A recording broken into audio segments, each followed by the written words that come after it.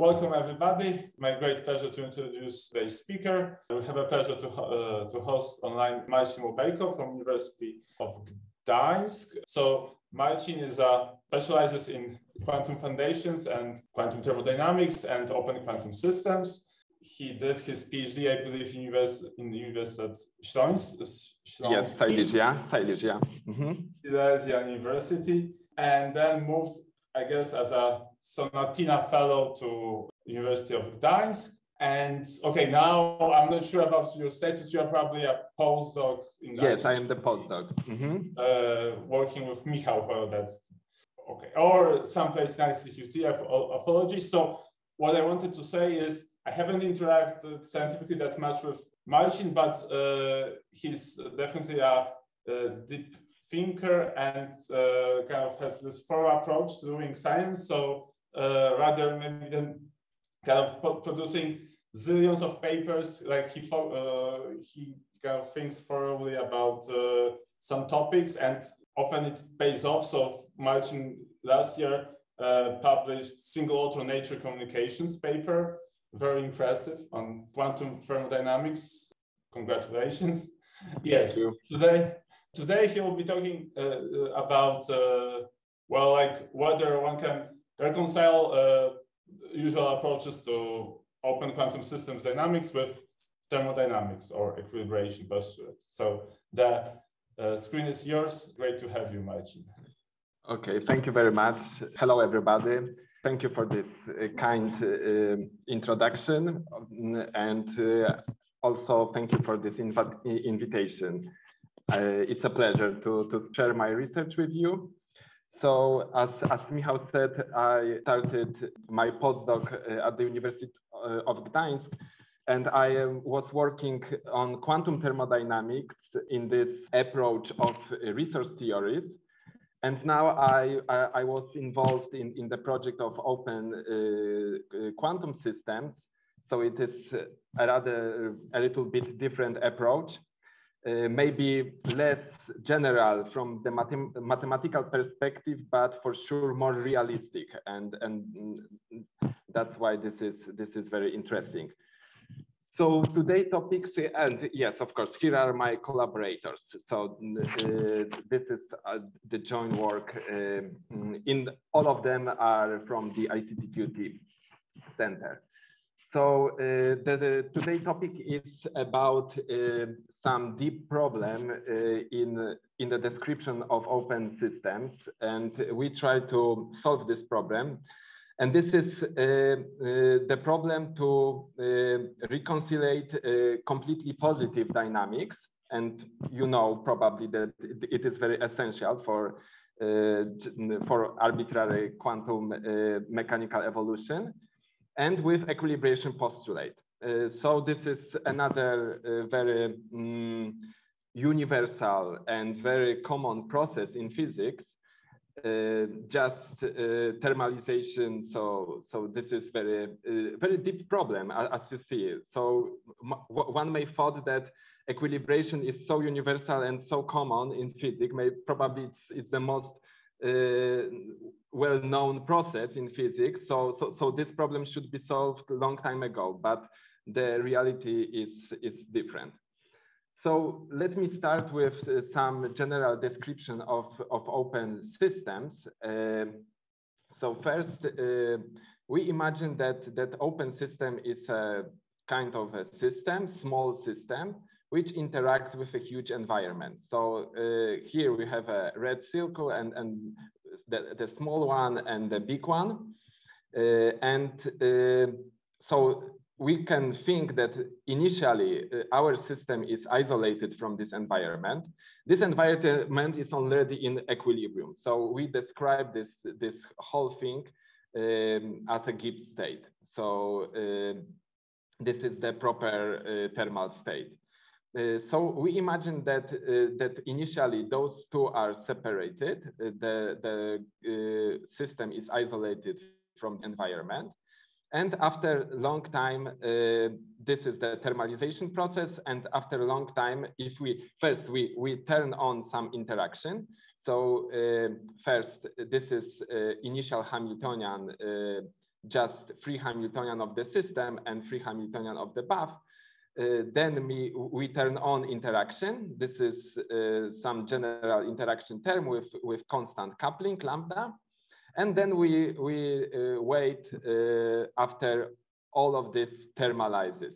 So after long, in the long time limit, uh, now at the end we have uh, the, green circle becomes a red circle. So, so now it's a part of, of, the, of the whole environment. In fact, now it should be indistinguishable uh, from the environment. So this is the, the schematic idea of, of the thermalization process. Uh, in a minute, I will tell you what are the problems with that and, and what are the assumptions. Uh, but first, maybe a few words about the motivation of open systems. Uh, you are working on quantum computers, and for example, in this case, um, the open system description is very crucial also because uh, you probably very you probably know very well that uh, the main problem of a quantum computer is a decoherence.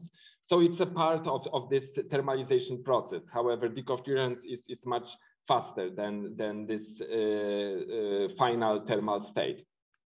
So uh, this is uh, but it's not only about quantum computers. The, uh, every system in, in, in, this reality, in fact, interacts with the environment. So, so this is uh, rather a fundamental uh, feature. And uh, uh, so let me explain what are the approximations uh, in this description. Because first, this is the idea that we start in the uncorrelated state. So, so we assume that initially we have a, a product form of the system and the environment.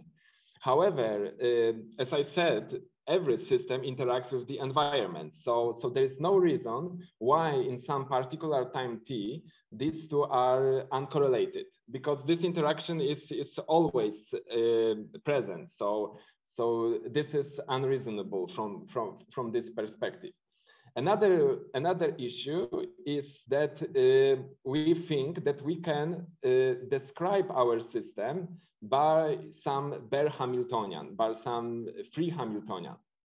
And this is another problem because uh, we think, uh, because this is an ideal object, uh, this, is, this should be the Hamiltonian of the system if it's totally isolated from the environment. But as I said, once again, this is not true. Normally, uh, this interaction is always present. So um, maybe it's it's not possible to to empirically, uh, for example, uh, measure such a such a quantity. And you will see in in, in this whole uh, talk that in fact we have a different uh, meanings of Hamiltonian. So, so we can uh, look at the uh, uh, at this concept from different perspectives, and this is like a renormalization theory, such that, for example, we we change the bare Hamiltonian into something else because of the interaction. And uh, in this whole talk, we will see that there are three different propositions of uh, for such a renormalization. And which one is correct? I, I will try to explain. But um, now we can, we, we, we can look at the first one. And the first one comes from the static perspective. So let us forget about this whole dynamics, which, uh, uh, which uh, evolve our system to equilibrium. But uh, let's for a while assume that, that, we are, uh, that we are in equilibrium. So this is the static picture. We forget about the intermediate dynamics, but only uh, we look at the final state. So everything is in equilibrium. So uh, we can write the total Hamiltonian. And now the idea is to trace out the bath. And, uh, and then uh, after this, this uh, tracing degrees of freedom of the environment, now we have a density matrix which describes our system. But indeed, this is the, the density matrix which describes the proper equilibrium. So the big mistake, which is very often uh, taken, is that uh, that we assume that that thermalization. So, so so let's let's assume that I have some dynamics, some CPTP map for for our system, and and I want to describe thermalization. So very often it is assumed that the final state of, of, of my process is the Gibbs state according to this bare Hamiltonian.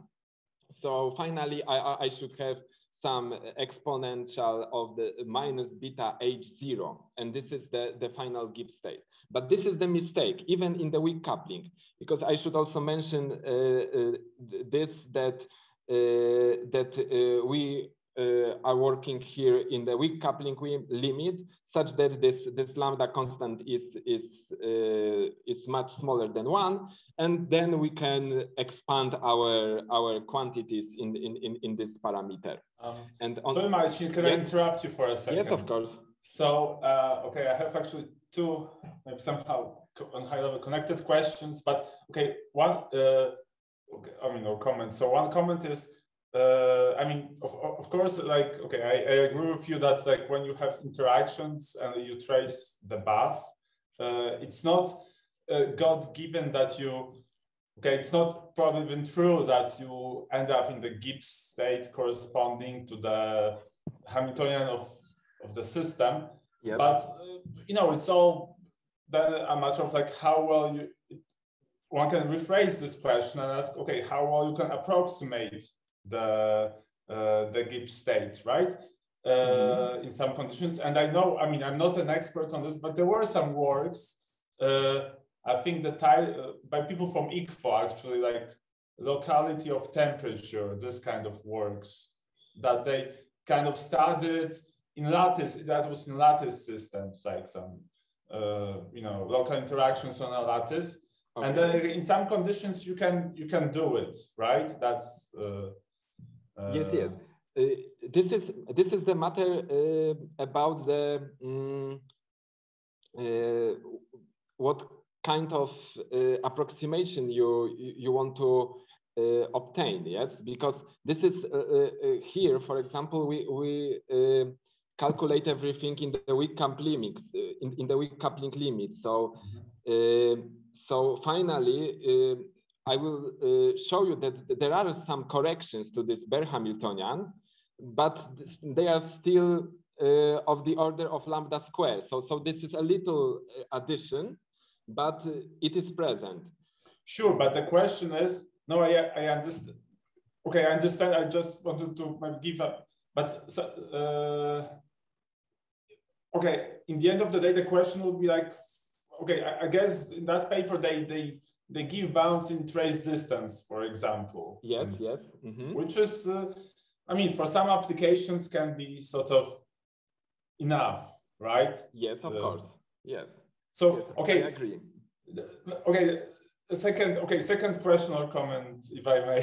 So yes, of course. it's, it's more like because I'm totally uh, like I, I used to be interested in this thermodynamics, not that much anymore. But okay, on on high level, I uh, uh, what I remember from from university. Okay, so when when when we let's say in undergrad uh, on undergrad level derive uh, ensembles, uh, statistical yeah. ensembles in in uh, statistical thermodynamics, uh, you we we really kind of write let's say those Gibbs uh, Gibbs states, uh, microcanonical or microcanonical ensembles, stuff like that. Yes. But let's say you mentioned quantum computers in, in passing, right? So uh, when we learn about those objects, they are supposed, okay, they are maybe presented sometimes in, quant, uh, in quantum mechanical lingo, but they concern, concern macroscopic systems, mm-hmm, right? Yes. And also, uh, kind of implicitly, you don't probe, I guess, against all possible observables that you have in your systems. Yes. Uh, but you uh, uh, you're concerned with microscopic quantities, mm -hmm. and then everything seems to kind of beautifully work. I mean, works great. Okay. Uh, my question is like, to what extent even this description via Gibbs states uh, makes sense if we really have uh, you know, if we are in the regime of quantum computers, uh, when when you are supposed to have quite precise control over, you know, what quantum states uh, you have and what observables you are really measuring, right? So that's yeah. I mean, yes, yes. Mm -hmm. I think that, that, that, that if you uh, have a qubit in, in a quantum computer, for example, it, it is not in full equilibrium, yes? This is, you can think that, that the, um, let's, uh, let's think about the superconducting qubits and um, the in equilibrium is, is the lattice, yes, that, that you have some phonons, uh, phonon interaction with, with this uh, Cooper pairs, for example, and, and, and this is the, the cause of the decoherence, for example. And uh, the, but, but uh, the qubit is not in equilibrium. It is in, a, in some external field and, and so on. There are, uh, we, we, as you said, we have full control uh, for this qubit, of this qubit. So mm, I don't know, this is maybe. Mm, okay. Can I make a comment? Yes.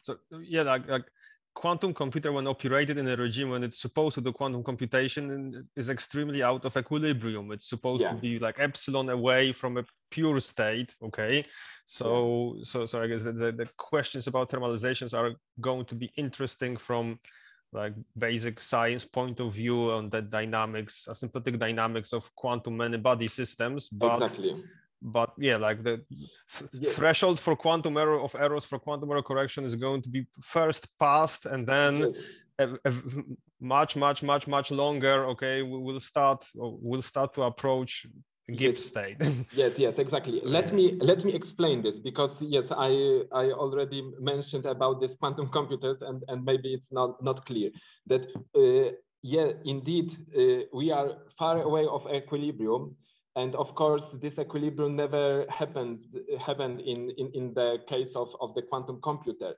But the question is, now I try to somehow uh, find the, the correct description of the open system. And the, the equilibrium is just the, the final state. So, so, so this is one uh, argument how to to you know to to find the correct the the the, the correct evolution. So uh, it means that that uh, this is uh, this is what is uh, for sure that that this is uh, the thermal state final thermal state is is what we know from thermodynamics. And of course in between there is interesting evolution and interesting dynamics so for a quantum computer, the most essential part is, for example, the coherence, which is much shorter. Uh, and however, you should know which kind of open system description you should use.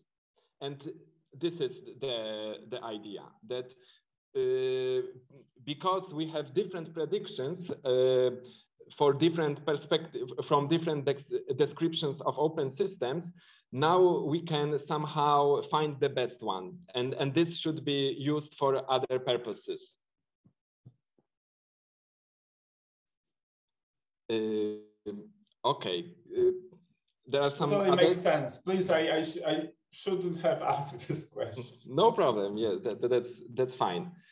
Mm, so okay i go on. So uh, yes so in, in, in this static picture, we just uh, trace out the bath. And now we assume that, that uh, the density matrix uh, is uh, once again some Gibbs state, but according to some effective Hamiltonian. And the name of this effective Hamiltonian is mean force Hamiltonian. The, the name comes from some old paper, the chemists uh, uh, proposed this name, and uh, we uh, don't care about it how uh, what's the meaning of this name but the, the fact is that this is the effective hamiltonian. So so yes. And and now we try to solve this kind of equation. We try to solve this this effective hamiltonian.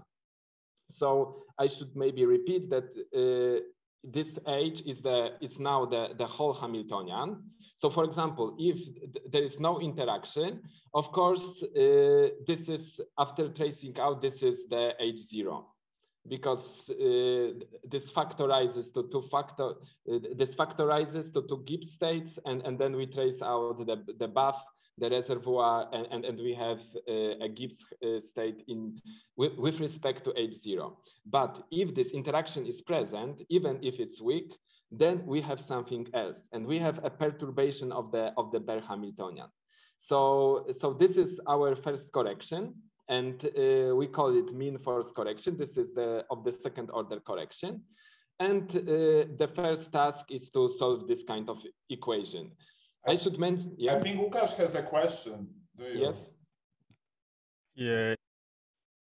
Or no. You're muted. Uh, yeah, I hope it's not going to be. The, the, so, by the way, uh, you don't have to raise your yeah. uh, hand. You know? Yeah, I just I wanted yeah for the speaker to finish the sentence. Okay, so uh, is is there an easy answer to to to to, to the question? So, so what is wrong with, with textbook derivation of of of canonical ensemble? Okay, because where you know you simply get e2 minus beta h0 under some reasonable sounding reasonable sounding uh, you know uh, assumptions that the environment is, is is large and the coupling isn't overwhelmingly strong okay and in the end yeah. like many many years ago we, we, we all got convinced that that that like it, it should be e2 minus beta h0 uh, mm-hmm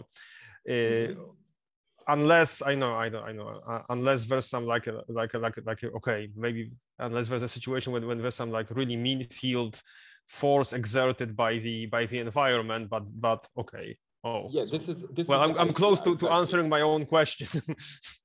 this is the, the, this is the idea, but uh, the the question is what is age, age zero because uh, this is somehow in in the uh, canonical ensemble description, uh, this is somehow postulated that you know what is the Hamiltonian which describe your system.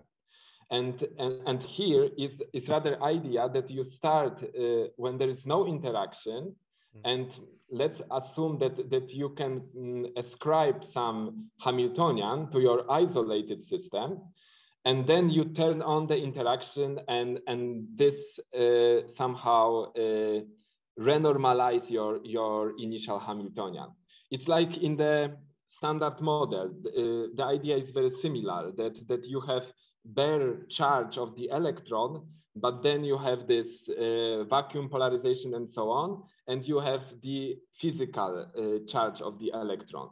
In fact, uh, uh, with this example, there are other problems because there are infinities and but in fact here there are also infinities. And this oh, is yeah. this is very interesting also. And okay, we try so, to solve it okay so the simplest example is when, when you have a, like a bare qubit splitting and you couple it to environment and you have transverse terms you get Lamb shift and then the exactly. question is are you going to actually have you know boltzmann distribution according to original bare splitting or the splitting renormalized by by Lamb by Lamb shifts and virtual excitations in the environment exactly exactly okay. and and later i will introduce the Lamb shift and, and and and the conclusion is that this mean force correction is not a Lamb shift so but but wait a hmm. moment and and i will okay. explain everything in detail yeah, thanks uh, okay something more about this uh, topic maybe not. Uh, ah, yes, yes. Maybe, maybe one more thing uh, that our claim, and I think that this is very reasonable, that this indeed is a physical Hamiltonian.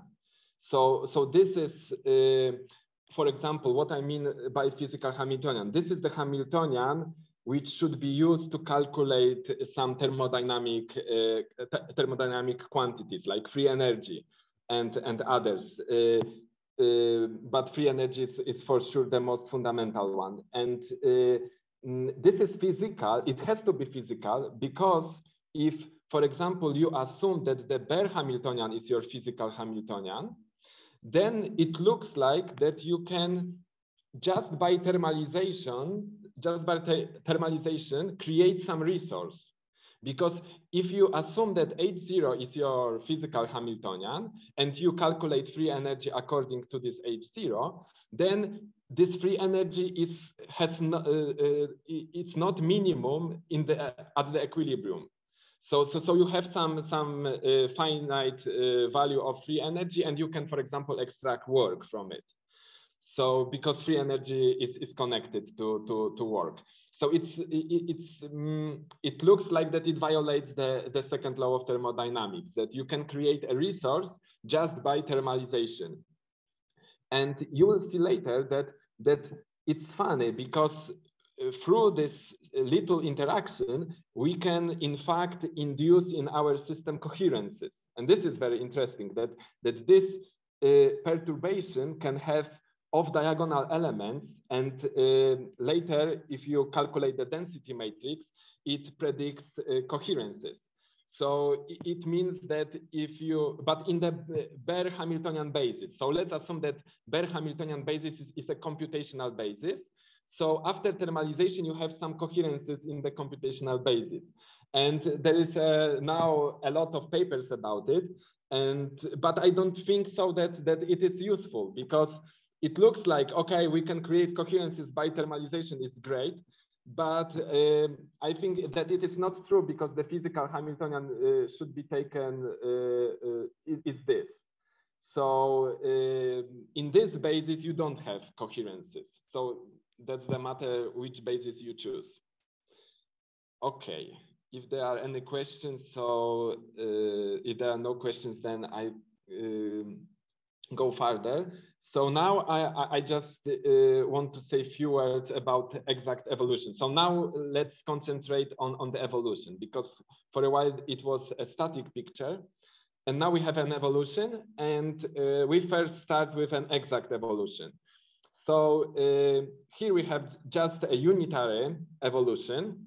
We assume that uh, that now it is isolated system, but but our bath uh, we assume that our bath is infinite. So it's you know there are some uh, mathematical problems with that, but but let's assume that that we can evolve our uh, we can describe the evolution by unitary. So uh, what I want to say on on this the most important thing is that we use the interaction picture and uh, then we expand this unitary in the Dyson series. And, and the main idea is that uh, we can now segregate this expansion uh, uh, with orders of lambda. So that's why we use the interaction picture. And for a while, let's assume that, that uh, for a while, uh, we assume that initial state is not a product. It's just some arbitrary composite uh, state. Uh, yes, oh, sorry, the, here should be S and R because without any index, I, uh, I mean this is system. So the observable and uh, especially density matrix without any and the index is, is the um, uh, system, but here should be S and R, that, that this is the composite state of, of system plus reservoir. Okay, so now we uh, want to derive master equation. Um, and uh, few ideas how, how, we, uh, how we do this. And this is the first approach. At the end of this talk, I will introduce another approach, uh, mm, but and, and and the final conclusion is that this another approach is much better. But first, uh, we should look at the master equation. Uh, so uh, we can uh, write this kind of evolution in terms of the differential equation, and this is the von Neumann equation. Uh, so now the procedure is like this, that, that we can uh, propose a formal solution for this differential equation. Now look that the, the generator is, is given by a commutator, but of the interaction Hamiltonian. Um, and uh, the formal solution is like this. You just take an integral uh, from both sides and it, it's not useful because uh, this, the, this solution uh, involves the the uh, time dependence of the of, of your state. So, so it's like a circular argument, but still it's a formal solution. Uh, and you put this solution into, uh, into the initial equation. And if you put this into the initial equation, uh, then you obtain this. Probably here should be also S and R, S and R and S and R here, but okay, sorry. There are some, some uh, little mistakes. Uh, okay, and then you, you have this one. Uh, so still this is an exact uh, equation. This is uh, fully equivalent to, to, to, the initial one. But now we apply some, some approximations. So uh, the first approximation is, uh, okay, I should mention that the first approximation is equating this term to zero. And uh, this is even not approximation, but somehow the assumption. And we can always do this. It's like uh, centralizations of, of, of some bath operators. But forget about it. We can do this. It's not a problem, and uh, it's not a, um, also. This is not an approximation. This is just. Sorry, uh, sorry to bother you, but like, what does it mean? We can like, uh, we can do it. So can we like, choose a basis, or like, in what sense it is possible like to uh, do it? Under okay. what physical circumstances? Yeah, th th this means that that you have in your in interaction uh, later. I have a form of this interaction Hamiltonian. So this interaction Hamiltonian uh, is consisted uh, cons um, contains the uh, system operator, interaction operator, and the bath interaction operators. And now uh, this the average of this if, if this average, if the average of this bath operator is zero, then this term disappears. And uh, if it's non-zero, then you can rearrange your Hamiltonian in such a way that you add and subtract something and, and you have some un, um, uh, you, you can add just some uh, you know, uh, operator uh, proportional to identity. And it's not a problem because it does not change the dynamics. Uh, so, so this is like sure, a mathematical sure, trick, which the physics is equivalent. Uh, so, so we only concentrate on, on, on, this term. And now we apply Born approximation. It means that now this composite state we can somehow factorize. And, and, and in, in this way that, that only our system is time dependent and the bath is always in equilibrium. So, so this is like an idea that the bath is so huge that I can approximate this composite state in each time by time dependent uh, density matrix of the system and independent uh, uh, density matrix of the bath, which is already the Gibbs state. Okay, th this is just the historical uh, derivation of, and, and then um, the Born approximation, but you can derive the same equation without this story. so this is funny because um, you can uh, rather, uh, so, so this is like a heuristic derivation, but you can derive the same thing uh, from this exact uh, evolution, just uh, considering the uh, projector on your system. So, so you just consider some subspace in your Hilbert space. this projector is defined in this way, and then you consider the dynamics of, of this subspace. And uh, you can obtain this kind of equation, uh, the master equation like this. And uh, finally, you, mm, you have to expand it in, in lambda. And if you expand it up to the second order, then you obtain this. So in fact, Born approximation is not about the uh, big bath and a small system, and that you can assume that this bath is time independent.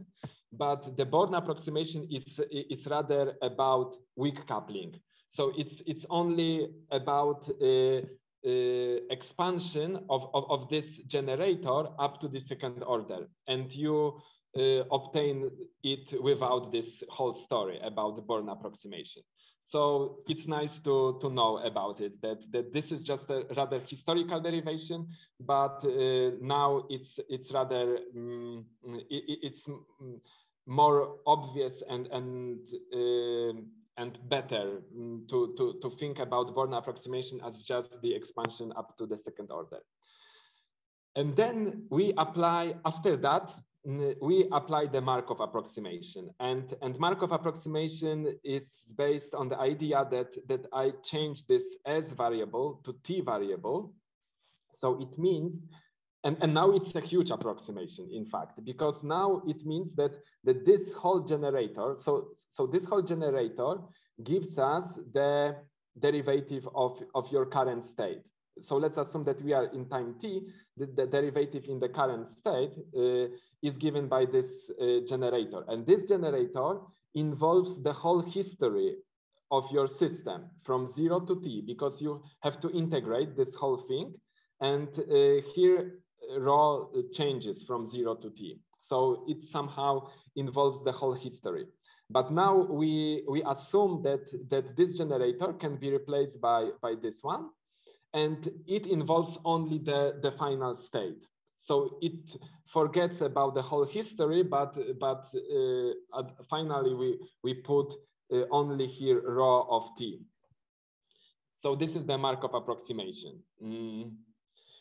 And um, yes, and this is our initial equation. So, so this is the microscopic derivation of the, of the master equation.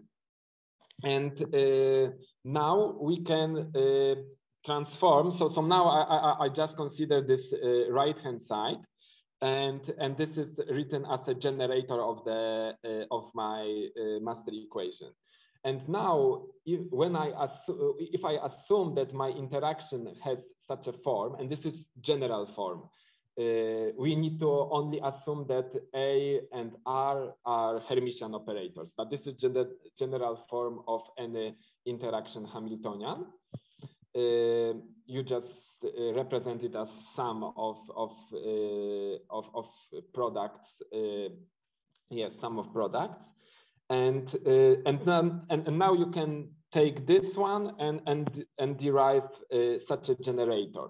So now this is after tracing out the bath.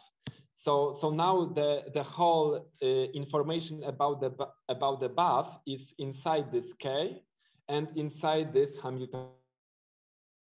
So this, I call this dynamical correction because I try to, to be, to be, to be more general, to be more general, but, but uh, for the common uh, Davies equation, for example, this is called Lamb shift. So, so we already talked about it.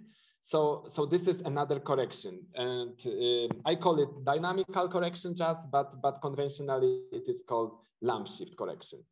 Mm, so uh, okay here there are also some some intermediate steps that we make a fourier transform of those quantities but it is irrelevant for our discussion. This is very important this dynamical correction. So how we should interpret it?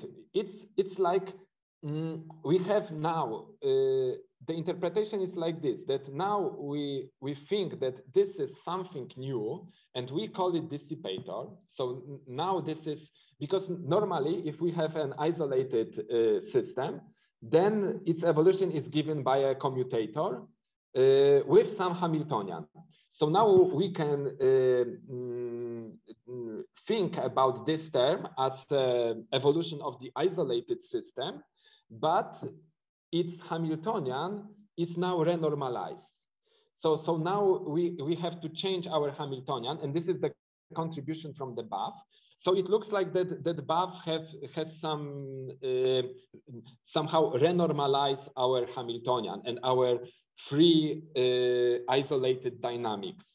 But now, but, but also we have this additional term which we call dissipator, and this is purely this this irreversible dynamics. It uh, it, it leads to, to, to, this irreversible uh, process.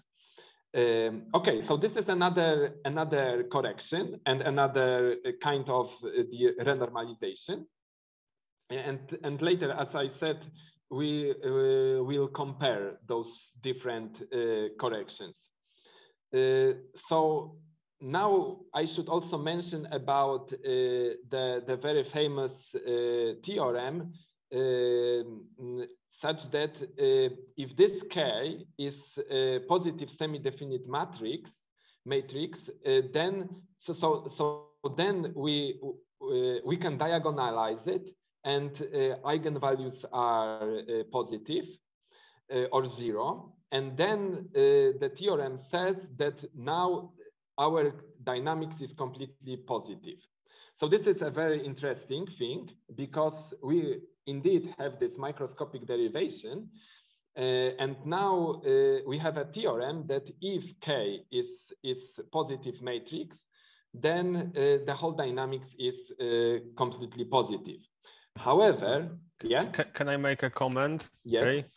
Sorry, don't don't don't take it badly, but but okay, you're calling it microscopic derivation, but okay, as you as you yourself stressed, okay, you made a you know Born approximation, which is reasonable for weak coupling, and Markov approximation, which is basically used in order to for the whole thing to you know be a simple equation and for the maths to be easier. Yes, yes, exactly. So so basically if you don't discuss you know physical reasons or microscopic reasons for markov approximations being you know expected to be very correct or not yeah I, I, I wouldn't stress so much that it's that it's that it's microscopically based okay? Yes yes.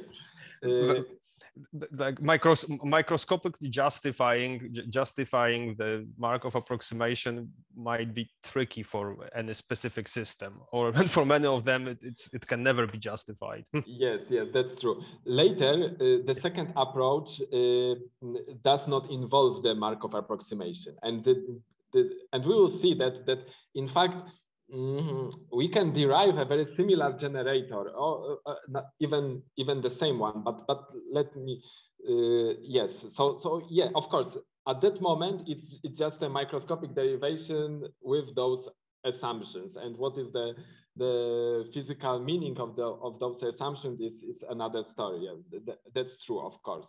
But look, and and indeed there is something wrong with this uh, derivation because if we if we take just this uh, equation, so after Born and Markov approximation, and if we compute uh, uh, these quantities, k's, so, so for this case, uh, k um, is given by, by those functions. Those functions are related to, uh, to uh, autocorrelation function of the bath, uh, it's not important, uh, but but the the uh, the important thing is that this matrix is not positive. So so through so in fact this microscopic derivation uh, so with Born and Markov approximation does not lead to completely positive dynamics. And um, this is the, the, the main problem of, of, of, this derivation.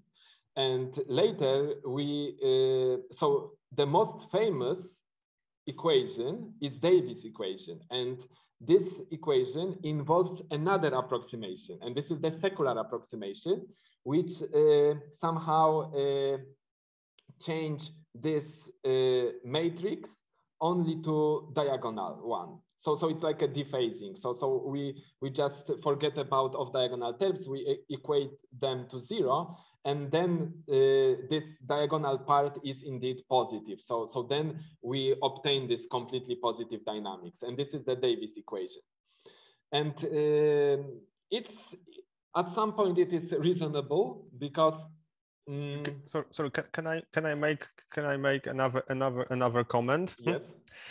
Because it, like two slides ago, you, you stressed that, that you are not assuming that the initial state of system and the bath is, is, is, is, is uncorrelated. Okay, you yes. took a general role, But if yes. you take a general role, there's no guarantee that the re reduced dynamics of the system will be a, a CP map, isn't it?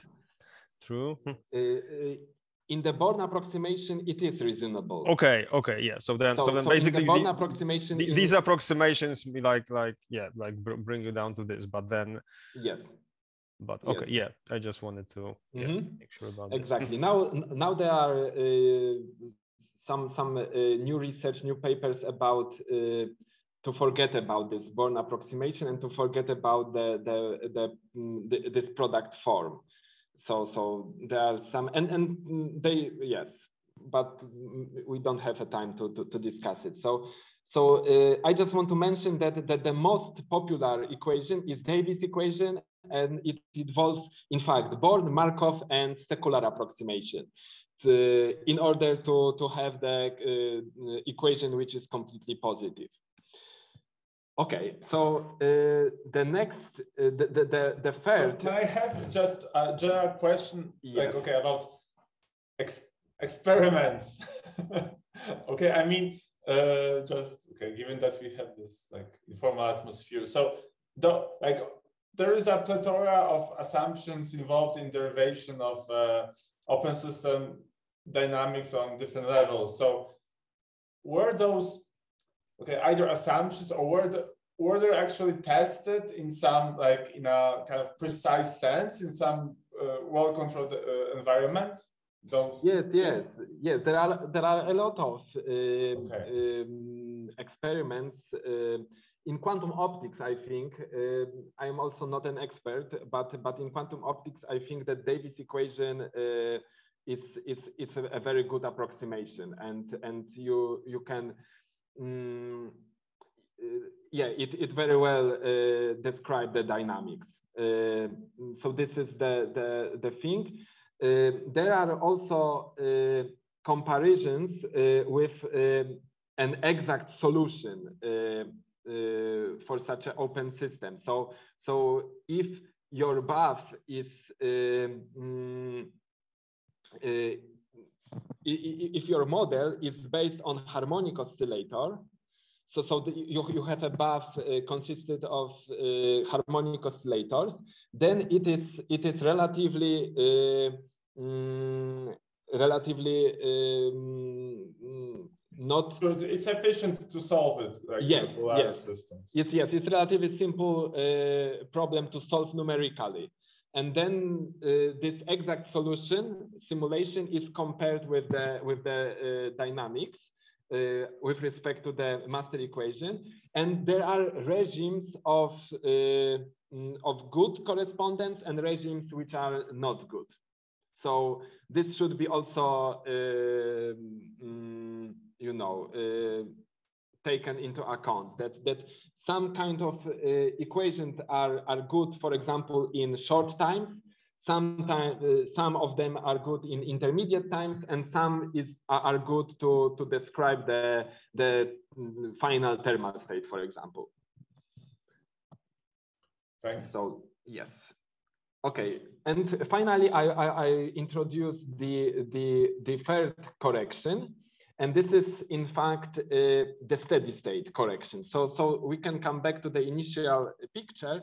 And now we assume, uh, okay, this Born approximation is, is okay because uh, no, no, the Born approximation is okay, but the product form is okay, at least in the weak coupling because uh, we can assume that our system is, is uh, mm, uh, not correlated with the bath and then uh, and, and now we consider our dynamics uh, and uh, we take a limit when times go to infinity. So now we look uh, what our master equation predicts in the long time limit. So, so we take a limit of this generator and, and then we solve the, the solution for a stationary state. Uh, yes, uh, and very often um, if it's uh, generic uh, bath, this is the only uh, one stationary state. So, so you are sure that, that in the long time limit, your system thermalizes to the solution of, of this equation. So, and now, once again, very similar uh, to, to, to the mean force derivation. Now we also postulate the stationary state as a Gibbs state. And once again, we, we uh, uh, we introduce a perturbation of, of this bare Hamiltonian. So now we call it uh, stationary state correction. So uh, we have mean force, we have dynamical correction and stationary correction. Uh, so all of them are the perturbation of the bare Hamiltonian in the second order of uh, lambda. Uh, yes, and we solve this equation using the um, perturbative uh, calculus. Uh, so we expand this generator uh, in orders of lambda, and we expand this uh, postulated stationary state in orders of lambda. And then we obtain a set of equations um, in each order of lambda. And uh, the most interesting thing here is finally, from, from these equations, we want to calculate the, the uh, second order correction to, to, to this Hamiltonian. So this HST2. Uh, so this is a second order correction and uh, and we can calculate the off diagonal uh, part of, of this Hamiltonian solving the second order equation. But to calculate the diagonal part, you need to go to the fourth order.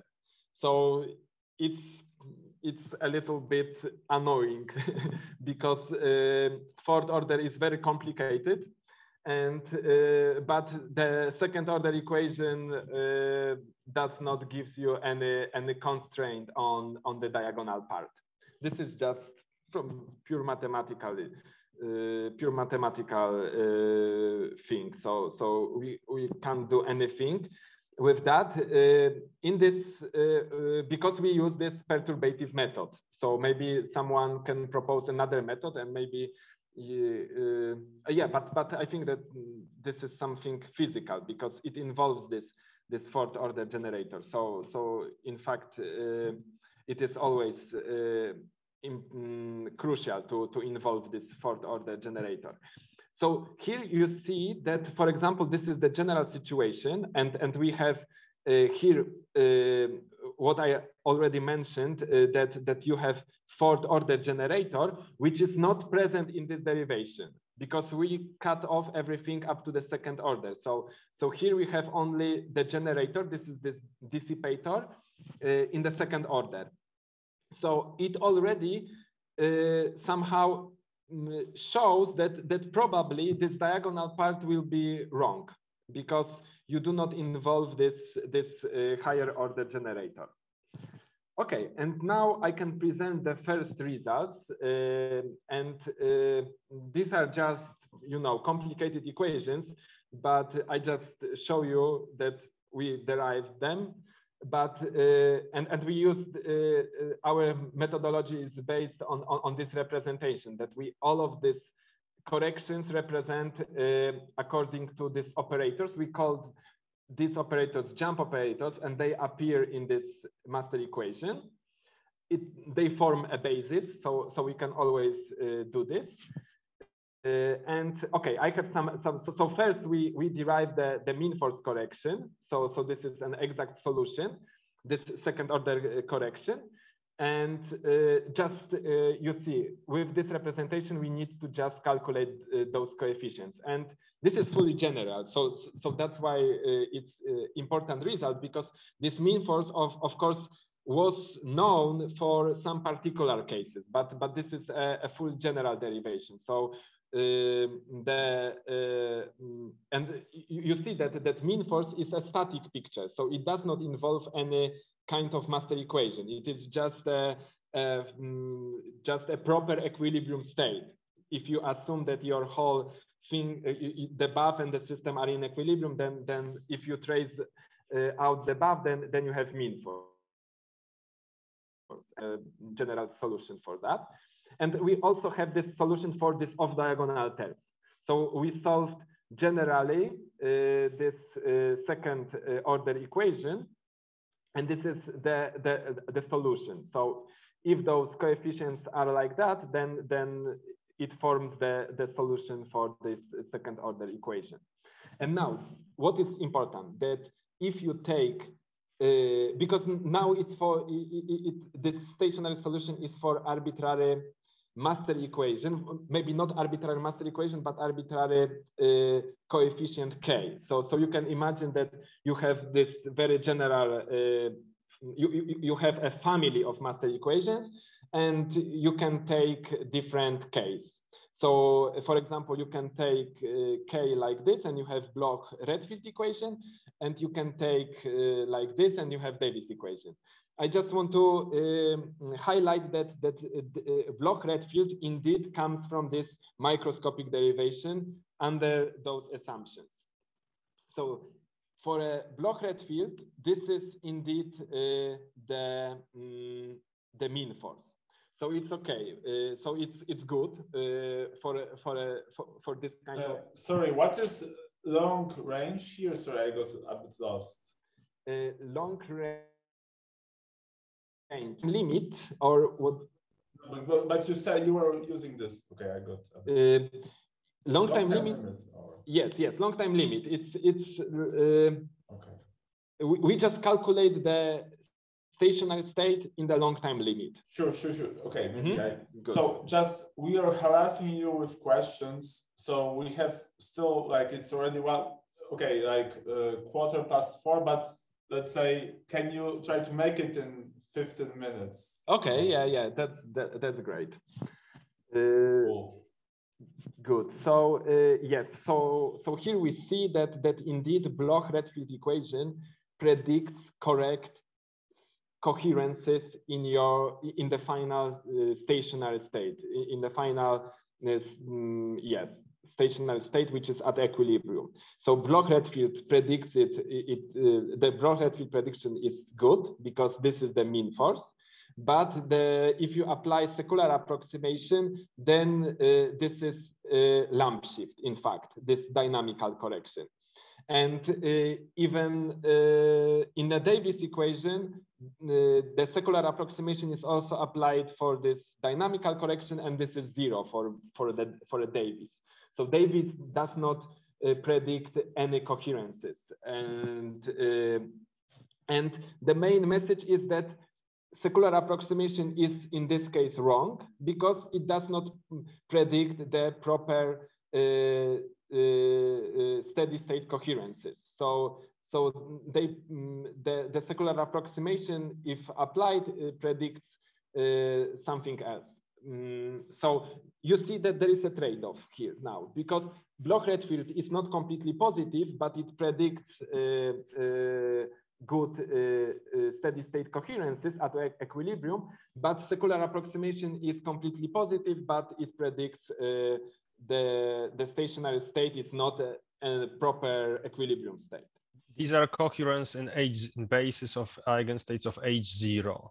Yes, these are coherences in again. Okay, in, so in the, I would say yes. so, so. The presence of them actually is related to the fact that that interaction with the basis actually re renormalized the the what should actually be the basis of of, of yes. your system or qubit eigenstates.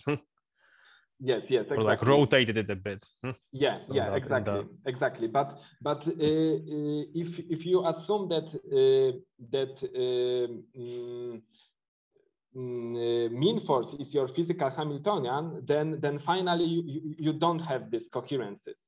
Because, uh, for example, Brocklet, uh, Redfield predicts as, uh, uh, as mean force such that it does not produce any resource finally, because this should be our physical Hamiltonian. This is our interpretation of, of, of this fact. good. So now I want to quickly introduce uh, this another approach, and this is a cumulant approach. And the, the final conclusion is that cumulant is, is, is better in any case. So, so it's uh, first, cumulant does not involve Markov approximation. So, so uh, the idea about cumulant is not to, uh, to solve the von Neumann equation, so, so not the starting point is not a differential equation, but this, this map, this dynamical map. So uh, we already assume here that that that we, we have a product state at the beginning, and this is consistent with the Born approximation. So later uh, we indeed assume Born approximation because uh, we only consider terms up to the second order. But the whole idea about the uh, cumulant is that we propose such a map. So, so now we want to describe this, this whole evolution as some dynamical map. And this dynamical map is represented by uh, the exponential map. And we have some generator of this exponential map. And now we expand this generator in, in orders of lambda. So this is the idea. It was first proposed by Robert Alicki long time ago. In fact, this is the year of my birth. so indeed long time ago but uh, later it, it, it, was also uh, rediscovered and, and sometimes it is called uh, refined weak coupling. So now the, the, the cumulant equation is just this because um, as I said, we, we use Born approximation. So, so, so we only consider uh, the leading term and this is the lambda square term. And now we can write the, the whole evolution like this. And uh, and now you can expand the left hand side the right hand side and then you can compare terms uh, with the same uh, of the same order of lambda and then you can find the the solution for k. So uh, now we see that that it is uh, similar to the to the uh, generator of the master equation the only difference is now that there is a time that there is an integral and now what is very important is that uh, now uh, this generator has this GKSL form. So it means that this evolution is completely positive. So this is the second uh, very important feature of the cumulant equation, that, that we have completely positive dynamics. So uh, as you see, for a while, it's, it's, it's a very good approach because we doesn't involve Markov approximation, and still we have completely positive uh, dynamics. Uh, so now, and, and, now interesting thing is, uh, so our starting point was uh, the um, dynamical uh, map, but now we can inter, we can take a derivative of, of this equation, of this one, and, and uh, derive the master equation for this kind of evolution. So uh, you can take a derivative of, of this exponent. This is some general formula for this.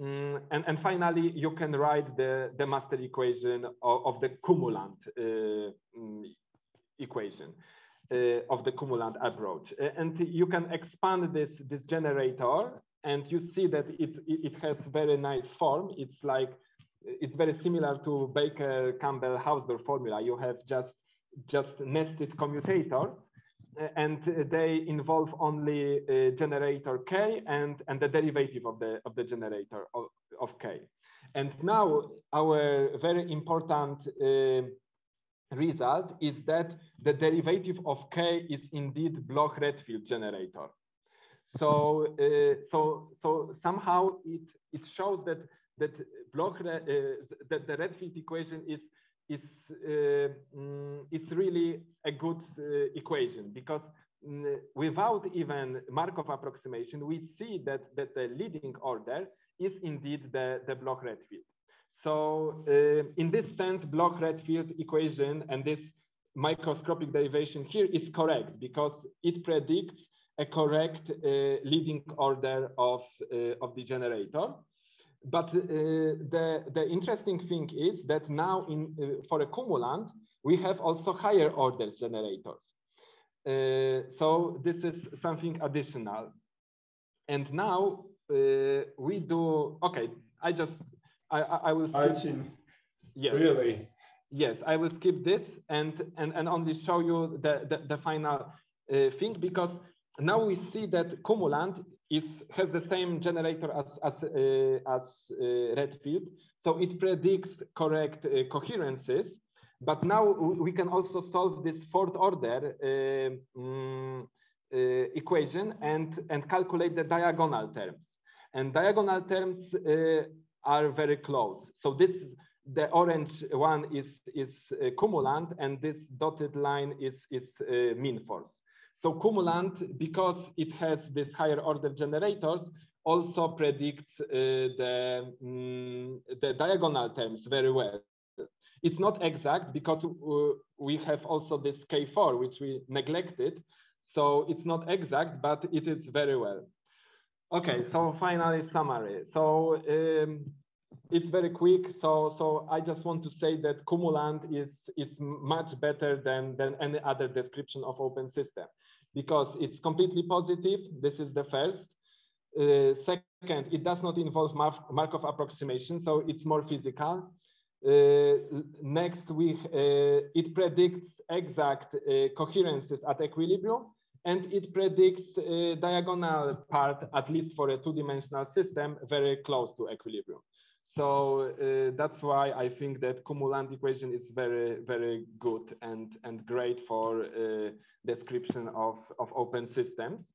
And what we can do more is to involve this K4 and probably then the diagonal part is also exact. And uh, what is interesting for me, uh, and now I want to concentrate on this to, to apply this whole machinery for non-equilibrium situation, when we have currents and, and different uh, baths in different temperatures so we can calculate engines and so on. So as always, uh, thank you for your attention and paper is will be very soon on arXiv, probably at the end of this week. So if you want to read it, so so it's it will be available very soon. So um, once again, thank you. Thanks, Marcin, for, for a nice talk. So I know what Michał is working on so intensely now. Yes. yes. This Wednesday or so, till today or tomorrow. Anyway, okay, we have exactly, time exactly. for questions and comments to, to the speaker.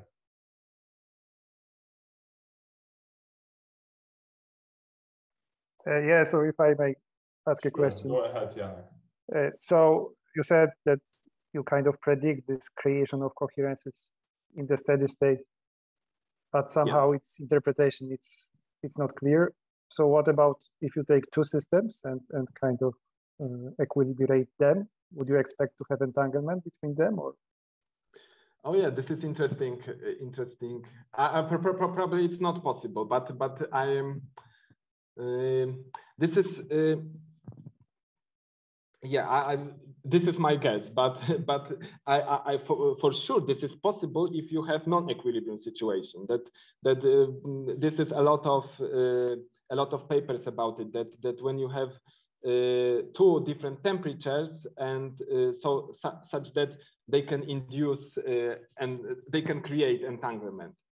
But with a single bath, I, I don't know, especially uh, especially uh, we don't even think about creation of entanglement by single bath, but but in equilibrium, in fact. Uh, can I ask for a clarification? Did, did you mean non-interacting two non-interacting systems? Yes, yes, of course. Yeah, yeah. Yes. Because otherwise, it's like yeah, yes, yeah. yes, yes, of course. Yeah, but here uh, I, I maybe I, I was not so clear, but but here uh, the the the coherences are not a problem because the problem is what you what you uh, assume is your physical Hamiltonian. If yeah, you yeah, assume that I your know, physical Hamiltonian is mean force, then then you don't have any coherences in, in, in yeah, this sense. But, but my point is that like entanglement is basis independent, so then you get rid of. Ah, yes, yes, that's true. Yeah. yeah, yeah, yes. So what, that's why I I have no idea. okay, thanks.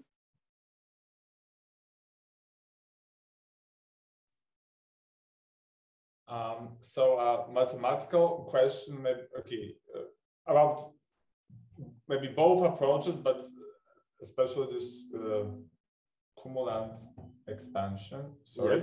Yes. Uh, so you you limit yourself to the second, okay, to the uh, first like non-trivial term here, right? Yeah. This, uh, and like is there any like do you have a control on like what are the errors that you make or is it uh or like have you tested it maybe on some exactly solvable cases to see how well this approach works and what are the limitations basically. Yes, yes. Uh, so uh, we expect that that Cumulant uh, is is is much better in in some intermediate situations. So because uh, other approaches, if if we think about the the evolution, because here it's another topic because we just think about the, the, the final thermal state. But but if we think about evolution, then then we, we expect that cumulant is, is better in some intermediate case. So, so good limits when when coupling is is is very weak, and if coupling is very strong, then then we have a good uh, uh, mm, uh, limits and and uh, master equations uh, works very well in, in, in those limits. But but in the intermediate limit there are some problems. But here there is also another story because uh, everything here depends on on on on cutoffs. So so it's like in this standard model which I mentioned uh, at the beginning that that in fact if we want to calculate everything as uh, as our equation says we have infinities. So uh, and this should be first uh, somehow resolved because sometimes your cutoff because finally you you do not integrate up to infinity you integrate over some range of frequencies but uh, finally you you do not integrate up to infinity, but up up to some some uh, some uh, finite uh, but um, very big frequency. And sometimes this cutoff is is physical, uh, like in solid state and uh, for example, but but but in quantum optics it's it's non-physical. And, and you have some infinities and this um, uh, what I want to say finally is, is that your evolution depends on this cutoff. So it's hard to compare uh, where you make a mistake. Is, is your mistake uh, because you have a wrong equality or you have some problems with cutoffs? So this is what I want to mention, that, that we also uh, try to somehow resolve this problem of cutoffs. And uh, yeah, so, so, so our basic idea is, is, is to do something very similar to, to standard model, such that we should start with H0, which is infinite. So, so, so we, we should think that, that the bare Hamiltonian of the system should be, should be infinite. And then this renormalization should have somehow, uh, you know, we subtract infinity uh, with infinity and, and we obtain some finite value. And then we don't have cutoffs. But this is very, a nice idea, but but we don't know what to do with it. Okay, one general a naive question. So at some point, I mean, on high level related to what you were saying. So I guess like in the in your talk, you you sort of implicitly assume like infinite bath and maybe some structure of the I don't know uh, energy density of the bath, right? Because you I mean there are those Fourier like those frequencies like until some point there were like uh, uh, there were no frequencies and then there were those sums and the omega omega primes and so on. So yes like mm -hmm. but like is there like like uh, is there some assumption that you need to take uh, take about the bath for this to work?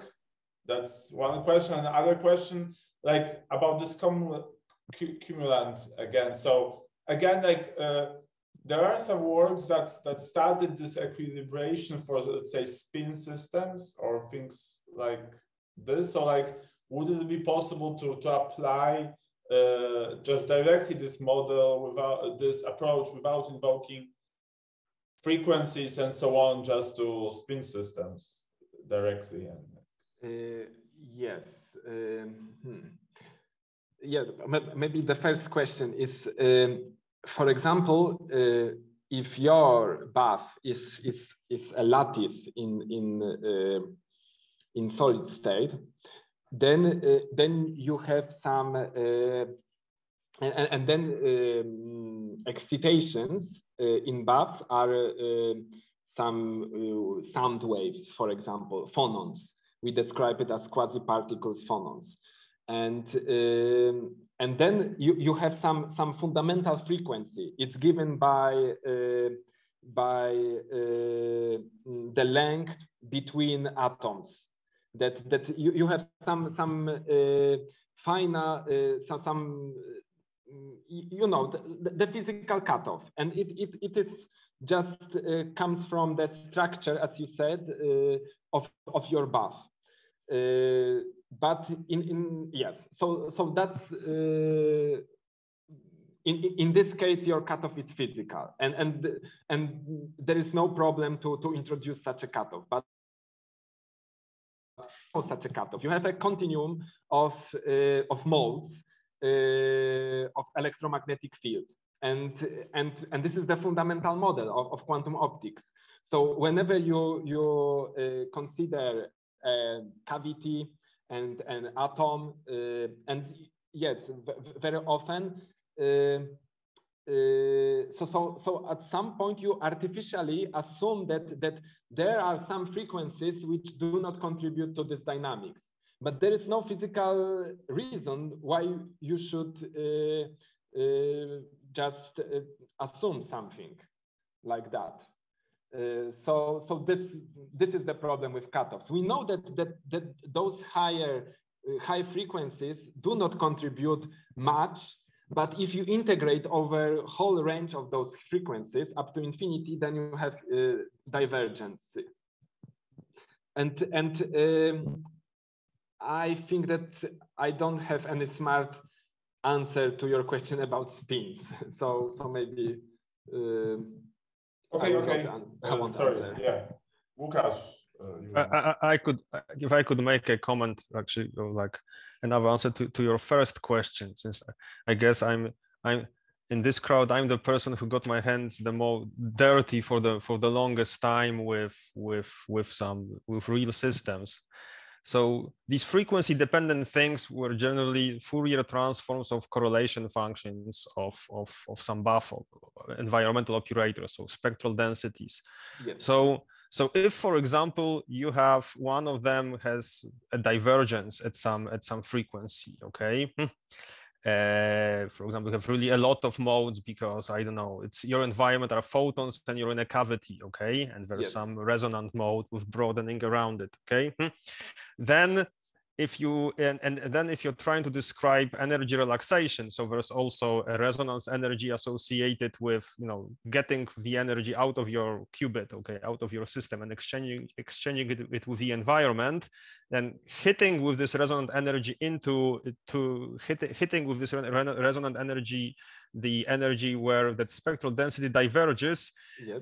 is a bad thing to do. Like if, if you do it you should then carefully double check if you can still you know use Born-Markov or like and like all the other approximations that you that you had before. Like yes. it, it's not completely clear from this way from, from this derivation path but but if, if there are some singular things later in frequencies you should then go back and, and make sure that that that, that, that the that the, that the whole setup doesn't doesn't fall apart so, yes. so that's I, I guess so I think that the classical experimental system, open yes. system is like you know an atom in a in a in a cavity. So so and photons are leaking out of the cavity. And if your atom is, is in resonance with the cavity you, you should be careful about like treating spontaneous emission you know of this of the of this two level of, of this atom in Born-Markov approximation.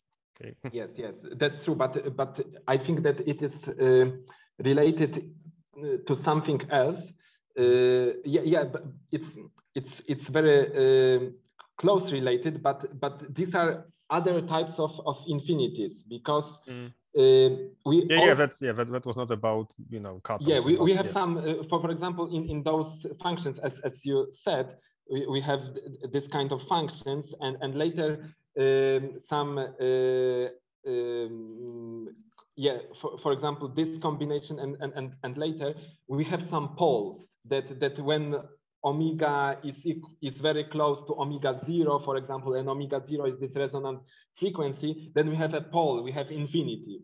and and of course, yeah, the, this is also the case. And uh, but uh, with those kind of infinities, we somehow uh, we can regularize those frequencies. There are some some mathematical tricks to do this.